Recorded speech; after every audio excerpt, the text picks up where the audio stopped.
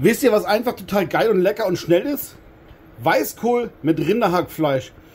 Das Ganze dauert genau 10 Minuten.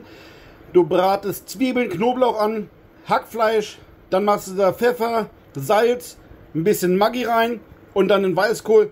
Das Ganze einmal richtig schön andünsten und dann hast du für ungefähr ja, 10 Personen innerhalb von 10 Minuten eine richtig leckere, geile Mahlzeit. Aber das Wichtigste ist bei diesem Gericht immer, da muss Kümmel mit dran.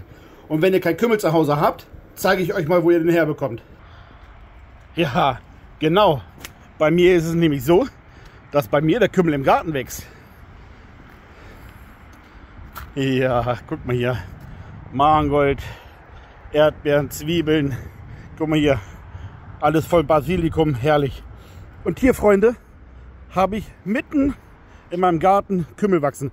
Guck mal, den kann ich jetzt einfach so neben die Samen. Guck mal hier. Seht ihr das? Dann nehme ich jetzt eine gute Handvoll hier, so ein paar Köpfe. Viel habe ich da schon geerntet. Das habe ich schon praktisch äh, in meinem äh, Gewürzregal.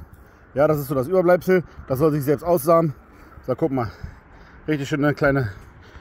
Ja, das ist bestimmt so ein Teelöffel oder ein Esslöffel voll. Und der kommt damit rein. Lecker.